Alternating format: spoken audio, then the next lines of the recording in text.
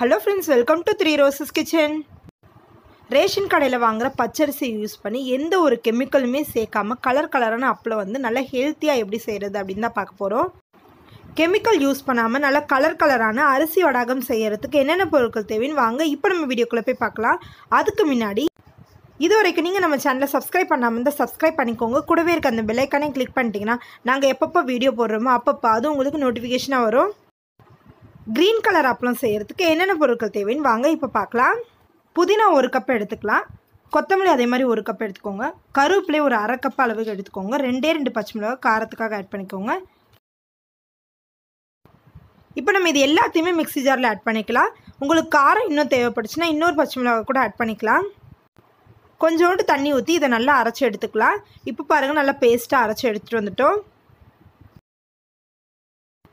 Ration கடை பச்சரிசி வந்து ரெண்டு டம்ளர் அளவுக்கு எடுத்து ஊற வச்சு வச்சுருக்கோம். இப்போ பாருங்கள் அரிசி நல்லா ஊறிடுச்சு. ஒரு நாலஞ்சு வாட்டி இதை நல்லா கழுவிடுங்க. இப்போ உங்களுக்கு கழுவிட்டு காட்டுறேன் பாருங்கள் இப்போ இதை நல்லா வந்து கழுவிட்டோம்.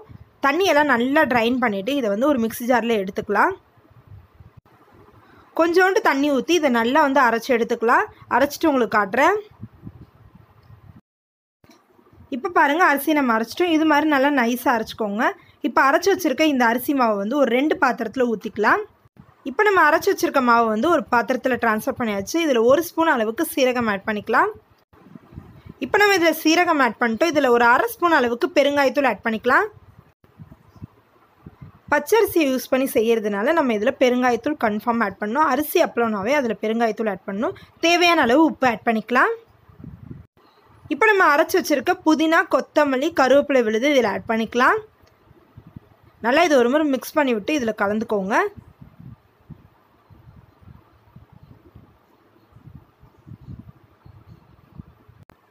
க்ரீன் கலருக்காக நம்ம ஆட் பண்ணியிருக்கிறது வந்து கருவேப்பிலை அதே மாதிரி புதினா கொத்தமல்லி தான் ஆட் பண்ணியிருக்கோம்.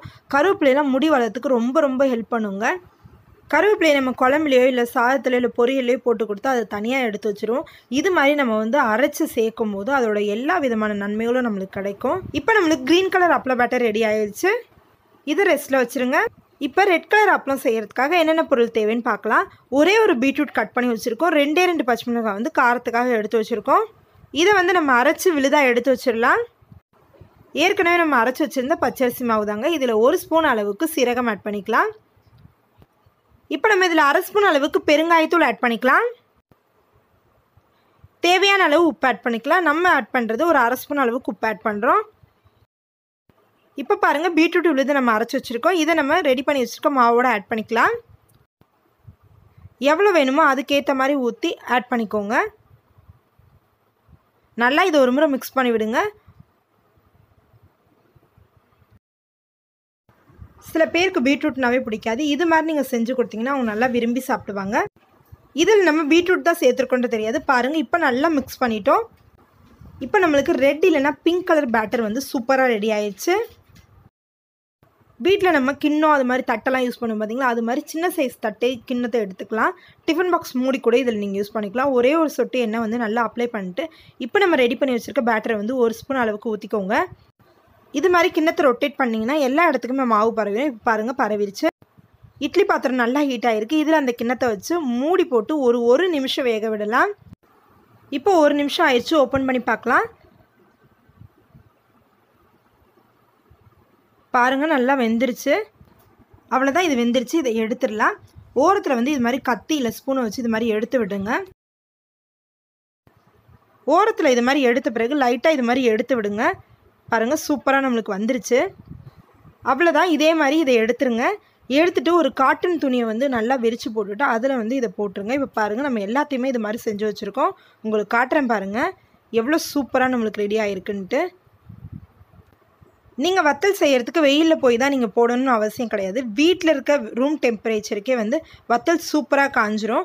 இப்போ நம்ம ரூம் டெம்பரேச்சரில் தான் வச்சுருக்கோம்.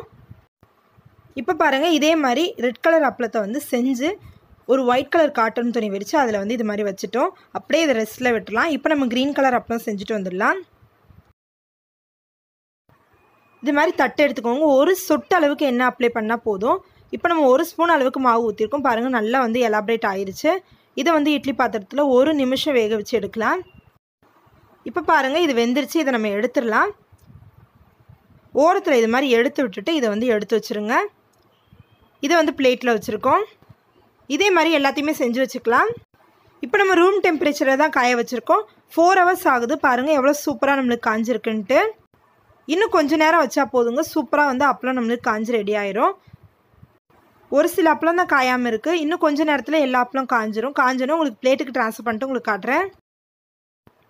இப்போ பாருங்கள் அப்பளம் நல்லா காஞ்சிருச்சு. இதை பிளேட்டுக்கு ட்ரான்ஸ்ஃபர் பண்ணியிருக்கேன் க்ரீன் கலர் அப்பளமும் அதே பிங்க் இல்லை ரெட் கலர் அப்பளம் சூப்பராக நம்மளுக்கு ரெடி ஆகிருக்கு ஏற்கனவே நம்ம சேனலில் வந்து தக்காளி அப்பளம் செஞ்சுருக்கோம். அதே மாதிரி வெறுமனே அரிசி வடாகம் செஞ்சுருக்கோம்.